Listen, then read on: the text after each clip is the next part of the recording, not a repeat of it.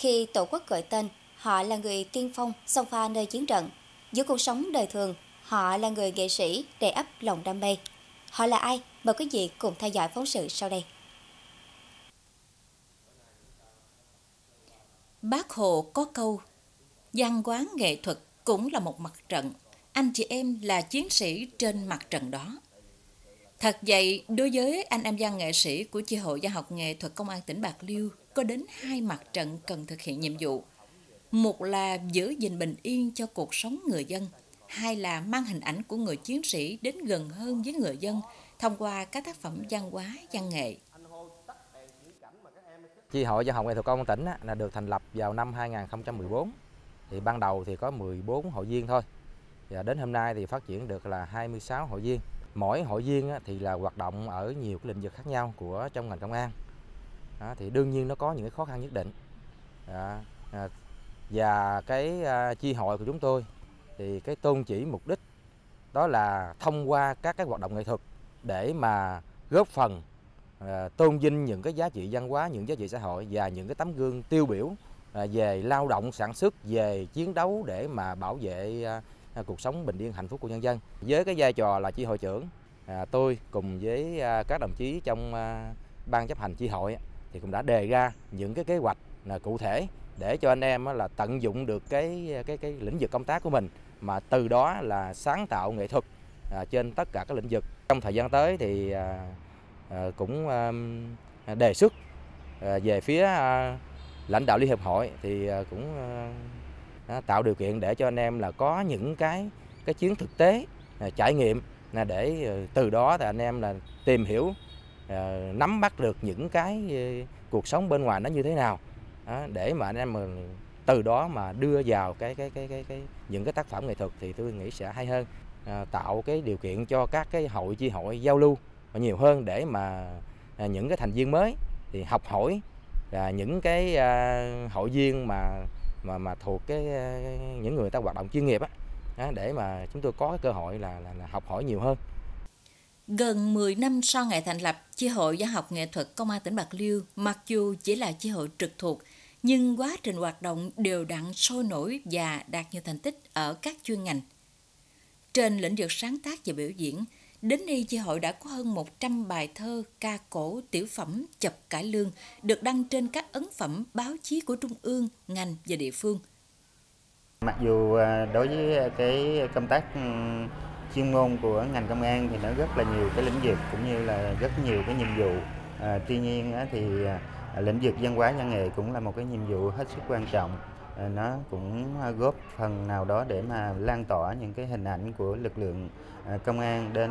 à, với à, người dân mình sẽ cố gắng để làm sao mà ngoài những cái à, cái hình ảnh ừ, quen thuộc mà người dân thấy đối với lực lượng công an đó là những cái chiến sĩ cảnh sát trên À, giao thông trên đường hay là lực lượng quản lý hành chính thì ngoài những cái à, cái đó thì nó còn một cái lĩnh vực khác đó là những cái à, chia sẻ về cái à, văn hóa văn nghệ nó phát huy được cái khả năng riêng của à, mỗi à, anh em trong cái chi hội cũng như là mình góp phần vào cái à, cái công tác chung của công an tỉnh. Để có được số lượng tác phẩm nhiều như thế này không phải là điều dễ dàng. Ngoài kinh nghiệm thực tế, trao dồi thường xuyên anh em cần có niềm đam mê, uyển chuyển, khéo léo trong sáng tác. Để hình ảnh các chiến sĩ công an không chỉ gần mà còn được dân yêu, dân quý. Con số hơn 100 tác phẩm nghệ thuật ở các lĩnh vực được ra đời này đã chứng minh được điều đó.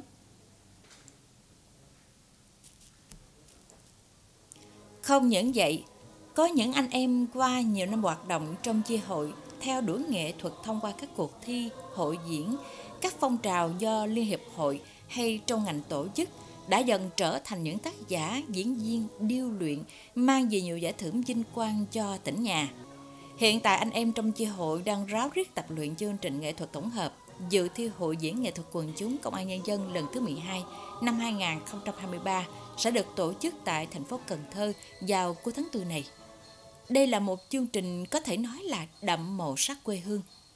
Trong chương trình ca múa nhạc đều có hình ảnh của ba dân tộc anh em Kinh Hoa Khmer nét văn hóa đặc trưng của xứ Bạc Liêu. Đặc sắc nhất là chập cải lương công lý tịnh người. Có thể xem đây là linh hồn của chương trình biểu diễn, là đứa con tinh thần, là nỗ lực và tâm huyết của tất cả anh em hội viên vì các khâu từ sáng tác nội dung, chuyển thể cải lương đến biểu diễn, dàn dựng đều được xây dựng thực hiện từ sự đóng góp của anh em trong chi hội. Qua cái kinh nghiệm rồi qua cái thực tiễn công tác rồi qua cái tâm tình đối với các anh em, đặc biệt là các anh em công an xã thì tôi nhận thấy là công an xã anh em hiện nay đang rất nhiều công việc mà rất là nặng nề. Thì từ đó có một lần tôi ngồi tâm sự với một anh là trưởng công an xã thì ảnh mới kể lại một cái tình huống có thật là ảnh từng đến một nhà để vận động một đối tượng ra đầu thú mà cũng rất là khó khăn. Thì từ xuất phát từ ý tưởng đó thì tôi mới ngồi tôi viết. Đầu tiên cũng chưa có tên, nhưng mà suy nghĩ như vậy thì lực lượng công an thì cái nhiệm vụ hơn hết là giữ gìn công lý, có bảo vệ công lý, nhưng mà trong cái công lý nó phải có tình người. Và trong cái đặc biệt là trong cái đợt hội diễn lần này đó là 75 năm khắc ghi 6 điều bác Hồ dạy lực lượng công an nhân, thì tôi đã chọn một câu ở trong đó trong 6 điều bác dạy, đó là gì? Đối với địch phải cương quyết, khôn khéo, nhưng mà đối với nhân dân phải kính trọng lễ phép. Làm sao chúng ta nó hòa quyện được hai cái vế này? Tôn bật lên được cái hình tượng của người chiến sĩ công an. Anh vừa cương quyết đối với địch, nhưng anh vừa phải khôn khéo và đặc biệt anh phải tôn trọng nhân dân, kính trọng lễ phép nhân dân. Xử lý làm sao cho nó khéo léo trong cái hình tượng này? Trong đợt hội diễn ờ, của Bộ Công an lần này thì bản thân cũng ờ, ờ, có cơ hội được các anh em trong đội giao cho vai Hiền là vợ của đối tượng bị truy nã. Tuy là đây cũng chỉ là một vai nhỏ, nhưng nó cũng là góp phần vào một cái thành công của chập cái lương và bản thân tôi thì cũng được các anh em chỉ rất là nhiều chỉ bảo rất là nhiều để um, làm sao mà phát huy được cái khả năng diễn xuất nè khả năng hát và làm tốt thật tốt cái uh, vai trò trách nhiệm của mình nhất là cái vai hiền này. Bản thân tôi tham gia vào uh, chi hội văn học nghệ thuật của công an tỉnh là được một năm và qua đó thì ờ, cũng được ờ, lãnh đạo đơn vị là ban giám đốc công an tỉnh thì cũng ờ, tạo điều kiện tham gia các hoạt động phong trào văn hóa, văn nghệ thì qua đó ừ, bản thân cũng cố gắng rèn luyện để đưa cái phong trào văn hóa, văn nghệ của công an tỉnh ngày càng phát triển và qua đó thì lan tỏa được cái hình ảnh đẹp của người công an trong lòng nhân dân và đồng thời là góp phần thực hiện tốt cái nhiệm vụ chính trị của lực lượng công an.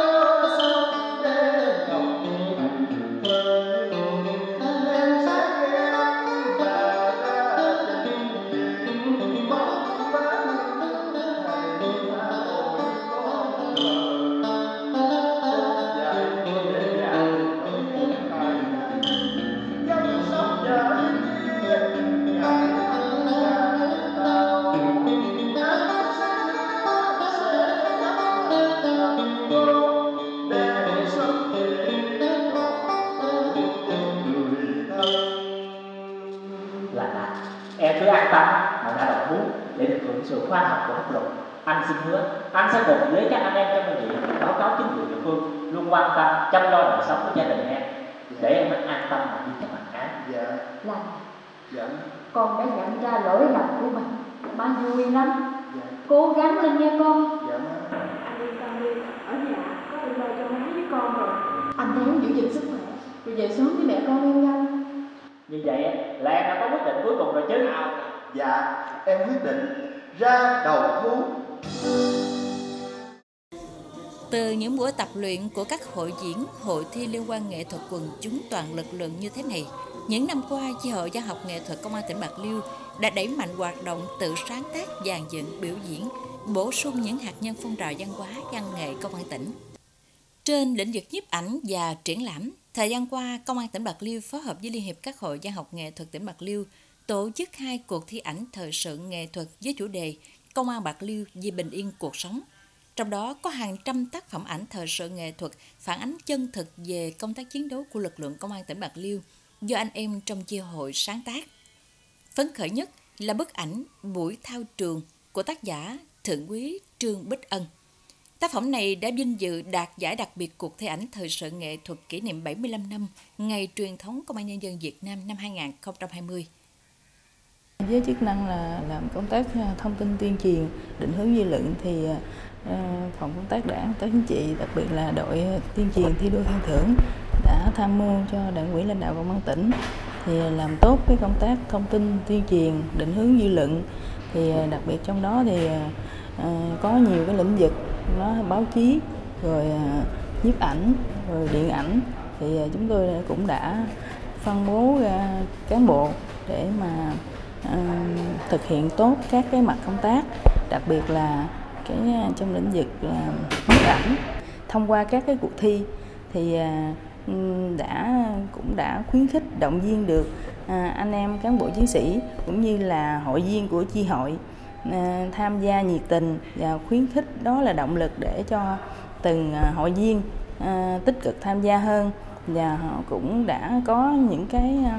sáng tác mà mang tính nghệ thuật cao để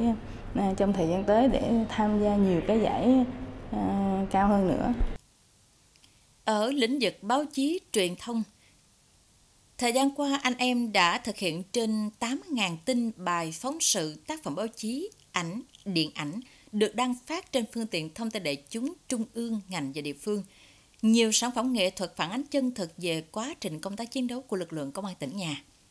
Nổi bật có 25 tác phẩm điện ảnh tham gia liên quan truyền hình công an nhân dân toàn quốc. Kết quả có 4 tác phẩm đạt huy chương bạc, 2 tác phẩm đạt giải C và Bộ Công an tặng bằng khen 10 tác phẩm xuất sắc. Có hơn 40 tác phẩm báo chí tham dự giải Búa Liềm Vàng tỉnh Bạc Liêu, hai tác phẩm đạt giải khuyến khích và được chọn tham gia giải trung ương. Ờ, Chi hội văn học nghệ thuật của công an tỉnh Bạc Liêu đó thì ờ, được thành lập ờ, gần 10 năm thì qua hai cái nhiệm kỳ hoạt động thì phải nói là đây là một trong những cái chi hội ờ, địa phương là mạnh ở của, của liên hiệp hội. Thì phải nói là cái hoạt động của chi hội dân học nghệ thuật công an tỉnh bạc liêu thì rất là đồng đều thì ờ, phải nói là chi hội dân học nghệ thuật công an là có một số hội viên rất là tiêu biểu cũng như là hội viên ờ, trần trường giang rồi hội viên ngô duy tân rồi hội viên đào quốc nam thì hội viên bích ân thì đây là một số hội viên mà hoạt động rất là đều tay và đạt cái rất nhiều cái giải thưởng ở trong ờ, trong cấp tỉnh, rồi kể cả trong khu vực và toàn quốc. Một số hội viên này mà khi đưa đi ờ, tham dự ở các cái hội thi đó thì liên hiệp hội cũng như là chi hội công an rất là an tâm. Cái hướng sắp tới đó thì ờ, để phát triển cái lực lượng hội viên trong cái ngành công an tỉnh đó thì chúng tôi cũng có cái kế hoạch là là sẽ tìm ở tất cả các cái đơn vị trực thuộc ừ, công an huyện, thị xã, thành phố tìm thêm một số hội viên có tiềm năng để đóng góp cho cái sự nghiệp chung của dân học nghệ thuật tỉnh Bạc Liêu nói chung và cái chi hội dân học nghệ thuật của công an tỉnh Bạc Liêu nói riêng.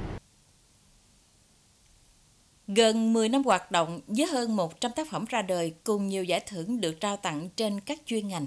Đây vừa là thành quả cống hiến của anh em trong chi hội, vừa là cơ sở để chúng ta nhìn nhận vai trò đóng góp quan trọng không thể thiếu của anh em trên con đường phát triển văn học nghệ thuật chung của tỉnh nhà. Hy vọng rằng trong tương lai không xa, Chi hội văn học nghệ thuật Công an tỉnh Bạc Liêu sẽ có thêm nhiều hội viên tài năng mới được phát triển, để hình ảnh của các chiến sĩ không chỉ được khắc họa rõ nét mà còn gần gũi và chân thực hơn trong bức tranh đời sống dân sinh. chương mục văn học nghệ thuật kỳ này xin được kết thúc tại đây. Cảm ơn quý vị và các bạn đã quan tâm theo dõi. Xin chào và hẹn gặp lại.